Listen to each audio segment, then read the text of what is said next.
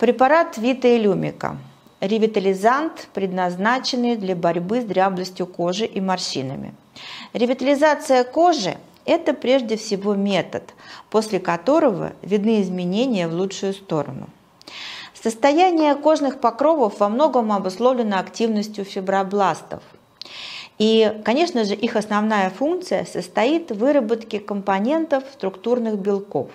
Это эластин и коллаген – они образуют упругий каркас, поддерживающий все слои тканей кожных покровов, и, конечно же, именно ревитализация со своим ингредиентным составом способствует удержанию большого количества воды, что служит профилактикой образования морщин.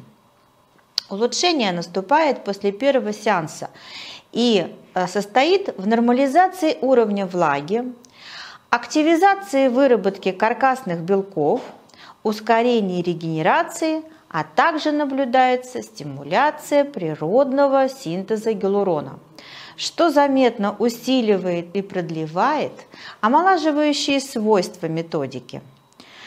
Процедуру с витоилюмикой можно проводить в возрасте от 25 до 60 лет. Только количество сеансов будет увеличиваться с возрастом пациента. Итак, Используйте в своих сеансах ревитализации а, препарат Вита и Люмика.